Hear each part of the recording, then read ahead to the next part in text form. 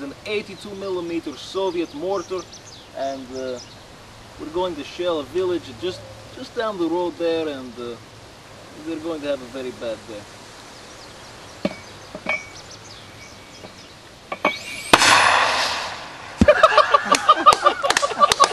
okay, so that was pretty good.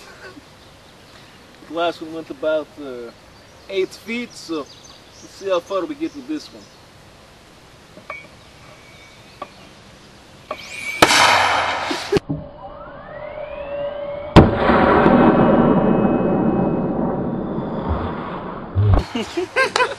No, we made it about uh, four feet with that one.